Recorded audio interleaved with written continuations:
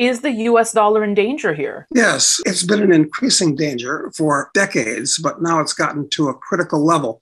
The US government itself is bankrupt, terminally bankrupt. It can't dig itself out of the hole. In fact, it's digging the hole deeper. The official $31 trillion deficit is being added to at the rate of a trillion, trillion and a half a year. Everybody knows, certainly sophisticated people know, that the dollar is a hot potato. The main thing that's holding the dollar up is the fact fact that its major commodities, oil, which is the world's largest traded commodity, are priced in dollars. If the Saudis and other countries start accepting the yuan instead of the dollar, then what do people need dollars for?